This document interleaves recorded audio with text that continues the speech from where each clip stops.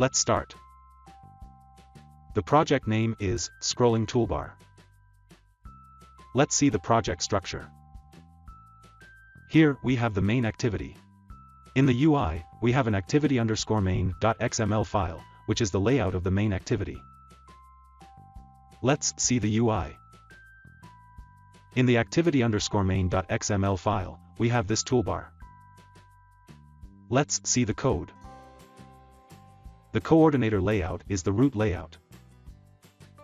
This is the app bar layout. The lift on scroll attribute is set to true. This is the material toolbar. The theme attribute is set to toolbar theme, which is mentioned in the themes.xml file. The scroll flags attribute is set to scroll, enter, always, snap modes. Below the app bar layout, we have a nested scroll view. The layout behavior attribute is set to app bar layout scrolling view behavior. Inside the nested scroll view, we have a constraint layout, here we can put the rest of the UI components which we need. In the themes.xml file, this is the toolbar theme style, that is applied to the toolbar.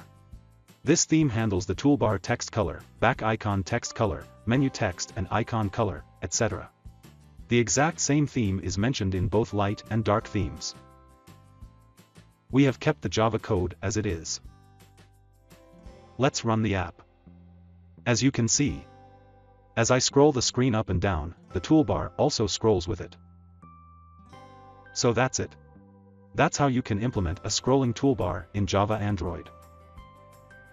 Thanks for watching.